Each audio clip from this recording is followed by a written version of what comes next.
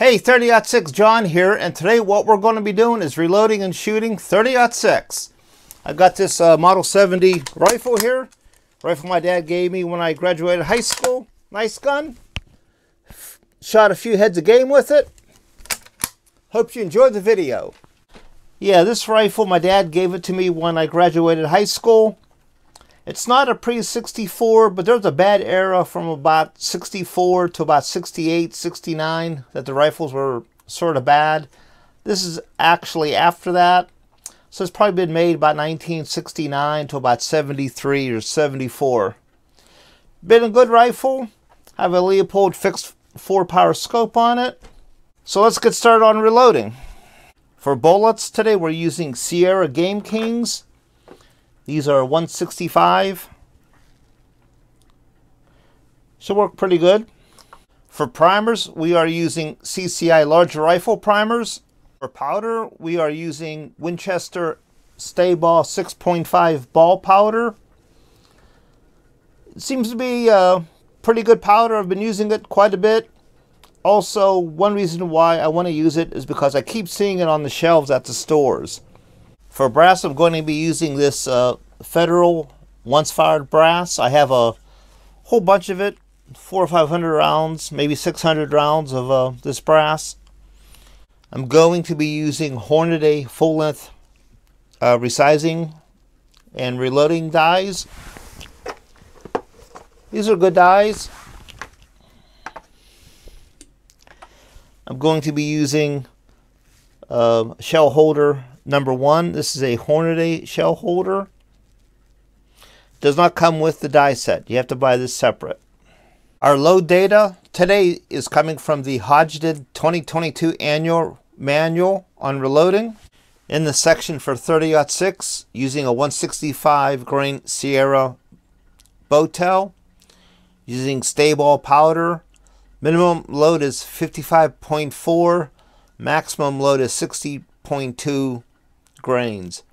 That's with a cartridge overall length of 3.30 inches. It says here they are using Winchester cases. I don't know how the case capacity for a Winchester case and Federal case is. So I'm going to start mild and my maximum load is going to be 59.0 grains. Then we'll see how much uh, case capacity we have. Alright, I've uh, deprimed and resized the first case. Looks good. The case is now primed. Once again, the big thing about priming is you, you want to make sure that that primer is just below flush. Just fill just below flush a little bit. Looks good here. Alright, 59.0 grains of Sta-Ball 6.5. Putting the powder in.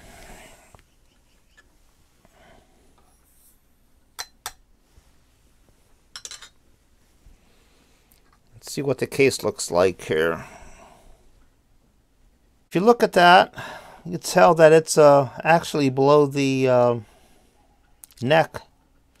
So there's actually plenty of room. If the bullet doesn't extend into the neck, there's actually more, uh, more room to add more powder. All right, we seated the bullet. We are seating to an overall cartridge overall length of 3.30 inches. And that's what we have right here. Looks good. When you look at this loaded round, then look at the bullet itself, it doesn't quite reach uh, all of the neck. The Boattail is about halfway down the neck. So when, when we put the powder in, there's actually plenty of room. We can in increase this load. Hey, we're back from the range. Let's re review the target. Uh, I was shooting the Winchester Model 70 Leupold fixed 4 power scope. That rifle has a 22 inch barrel. I was shooting at 75 yards. Uh, the Leupold fixed 4 scope, I was having problems getting a really good sight picture on the bullseyes here. So I moved it into 75 yards instead of 100. My first load uh, 165 grain Sierra Game King, 56 grains of Sta-Ball, 6.5. CCI large rifle primer, overall length, cartridge overall length of 3.30 inches. Federal cases. Uh, my velocity average was 2693. It's a little slow, but 56 grains is a pretty mild load. A group, three shot group, was a one and three quarter inches. Next, I increased the powder two grains to 58.0 grains of Sta-Ball 6.5. Um, the group tightened up a bit, inch and a quarter for three shot group. The average velocity increased to 2757 feet per second. My final load was 59.0 grains of Sta-Ball 6.5. Uh, shot a nice one inch group. Now this is at 75 yards. The velocity jumped up to 2813 feet per second. So that right there, that's a good load. There's actually still plenty of capacity in the case. I'm sure I could have increased that. Probably one more grain. Uh, per the manual, I was 1.2 grains below max load. So there's a lot of potential and growth in this load. Hey, that's all that I have for today. If you like this type of content, please hit the like button and please subscribe to my channel if you haven't done so already.